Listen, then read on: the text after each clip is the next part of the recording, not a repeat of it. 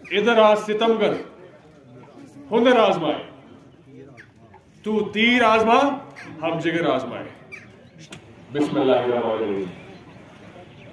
शेर रफियाबाद मोहम्मद दिलावर साहब, हमारे डिस्ट्रिक्ट ऑर्गेनाइजर मईन साहब, गुलाम मसूद डार साहब, हमारी डीडीसी बहन परवीर जी, असलम साहब, यहाँ स्टेज पे बैठे तमाम लोगों को। और खासकर उन लोगों को जिन लोगों ने ये जलसा कामयाब किया है, आप सब लोगों को अस्सलाम वालेकुम और आदाब। मैं ज़्यादा वक्त नहीं लेना चाहूँगा। आज मैं एक ही चीज़ बोलूँगा कि आज का जो ये जलसा रहा, ये हमारे फाउंडर्स डे का इस दिन हमने अल्ताफ साहब ने, दिलावर साहब ने, गुलाम हसन मीर साहब ने ये तंजीम बनाई। अक्सर आप देखते होंगे, इस तंजीम के खिलाफ बहुत सारी उंगलियाँ उठती हैं। कोई किसी नाम से पुकारता है, कोई किसी नाम से पुकारता है। पुकारने वाले को ये डर नहीं है, या ये दर्द नहीं है कि इस कश्मीरी भाई का क्या हाल हुआ है। जो हमें नाम से पुकार रहा है, उसको एक ही डर है कि खुदा न खास्ता उसके हाथ से इकतदार ना निकल जाए। आज जिस वक्त हम यहाँ जमा हुए हैं, इससे पहले हम श्रीनगर में मिले, वहाँ भी रफियाबाद से और हमारे जंगीर नाले से जोक बर जोक लोग गए। उस वक्त भी बोला गया, जिनाब, समझ नहीं आ रहा इन लोगों को क्या किया जाता है। पैसे देके या पता नहीं किस लालच से या डर से ये लोग जमा करते हैं। मैं उन तमाम पार्टियों को बोलना चाहूँगा कि यहाँ जो ये जलसा होता है रफियाबाद में और जंगीर में, ये सिर्फ़ और सिर्फ़ दिलावर साहब का प्यार और उनकी मेहनत से लोग यहाँ जमा होते हैं। अगर आप हमारी तंजीम को नाम देते हो कि हम पैसे देकर लोग बुलाते हैं तो फिर खुद आप कश्मीरी को बदनाम कर रहे हो। क्या कश्मीरी इतना सस्ता हो गया है? कि पैसे के लिए दो घंटा, तीन घंटा यहाँ बैठेगा। नहीं जनाब, आपके पैरों तले ज़मीन निकल रही है। आपको अंदाज़ा नहीं है कि साठ साल की हुकूमत ने कश्मीर को कहाँ पहुँचाया। यह आपकी गलती है कि हमारे सर पे बीजेपी राज कर रही है, नाच रही है हमारे सर पे।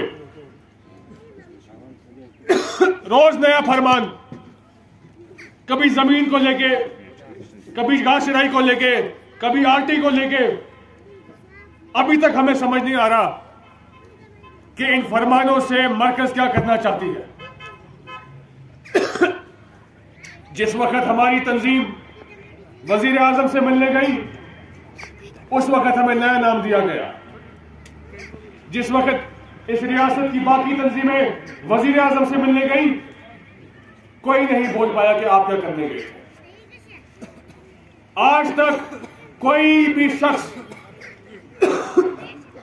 मैं बोल नहीं सकता, क्योंकि बहुत बड़ी शख्सियत है फारूक साहब, मगर कोई भी शख्स आज तक नहीं पैदा हुआ ये बोलने के लिए कि फारूक साहब, अगर दफ़ा 370 तोड़ी, आप उसी पार्लियामेंट का हिस्सा थे, आपने एहतजाज के तौर पे इस्तीफा क्यों नहीं दिया? आज तक कोई पैदा नहीं हुआ। और नाम हम पे लगाते हैं। इंशाल्लाह ताला कल भी और आज भी हमारा एक ही सबसे बड़ा दुश्मन है, वो है बीजेपी। जब तक मरकज में बीजेपी की सरकार चेंज नहीं होगी, तब्दीली नहीं आएगी, तब तक इस कश्मीरी को आराम से बैठने ये याद रखना। यहाँ ज़्यादा वक्त नहीं लूँगा मैं आपका, क्योंकि मैं जानता हूँ जो डील यहाँ, जो लोग यहाँ आए हैं इस वक्त, जिस वक्त हर कोई मेरे ख्याल से मसलूब है। स्प्रे ऑयल का सीज़न शुरू हो गया है। तब भी उसके बावजूद यहाँ सब लोग जमा हुए। मैं आप सबका शुक्रिया करता कि आप सब लोग यहाँ आए। दिलावर साहब की बात सुनने आए हैं। यहाँ हमारे डिस्ट्रिक्ट प्रेसिडेंट खुर्शीद अहमद खान साहब। बदकिस्मती से उन्हें बाहर जाना पड़ा। मुझे सुबह से दस फ़ोन आए नर्स खुर्शीद साहब के वो जम्मू में हैं, इंशाल्लाह कुछ मजबूरी पड़ गई।